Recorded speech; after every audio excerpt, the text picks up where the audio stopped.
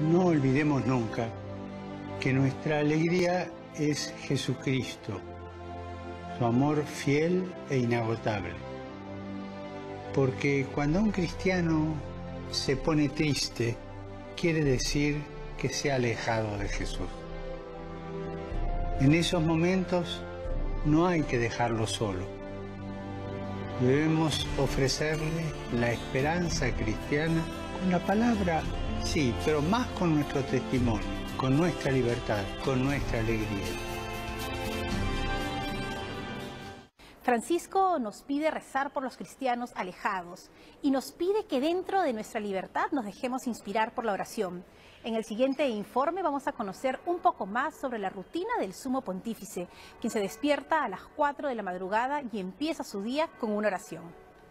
Tenemos que orar confiándolo todo al corazón del Padre, sin pretender que Dios se amolde a nuestras exigencias, a nuestros modos o a nuestros tiempos.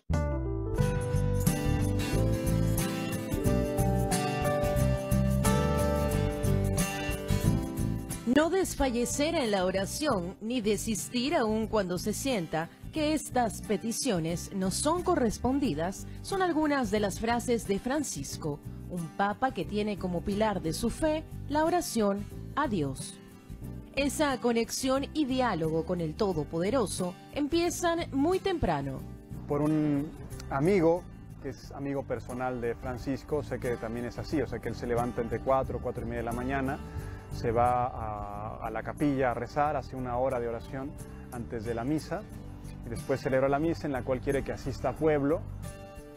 Son las plegarias y oraciones las que ayudan al pontífice a inspirarse en la humilía y llevarle a los fieles mensajes sencillos pero muy reflexivos. La Biblia dice, dice que Mosè parlava al Signore faccia a faccia, como un amigo. Así debe ser la preghiera. ¿Por qué son tan al grano y tan.? Es que llevan una hora antes de meditación. O sea, no, no preparación académica de agarrar libros, sino que lee el texto y lo conversa con el Señor y dice: ¿Qué me dice esto a mí? ¿Y qué le dice a los demás? Aunque yo, cuando vado a pregare, algunas volte me atormento. Él reveló que durante la oración, a veces el sueño le gana, pero que para Dios esto significa sentirse niño en sus manos Además, advirtió a los cristianos que la oración no es una varita mágica, sino una herramienta que ayuda a conservar la fe en Dios.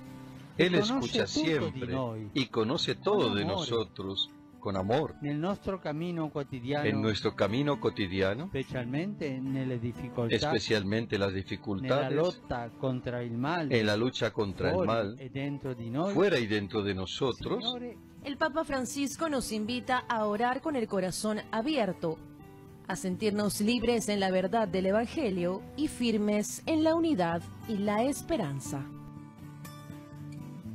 Gracias por rezar por mí. Se lo pido de corazón, necesito, necesito de la oración de ustedes.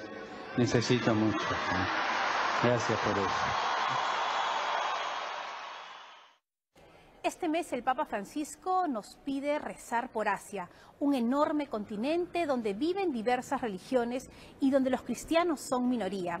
Los dejamos con su testimonio y aprendamos de su apertura hacia los demás.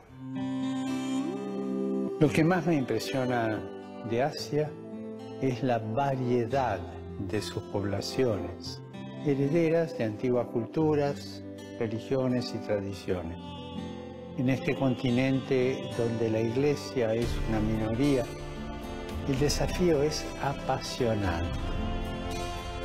Debemos promover el diálogo entre religiones y culturas. El diálogo es una parte esencial de la misión de la iglesia en Asia.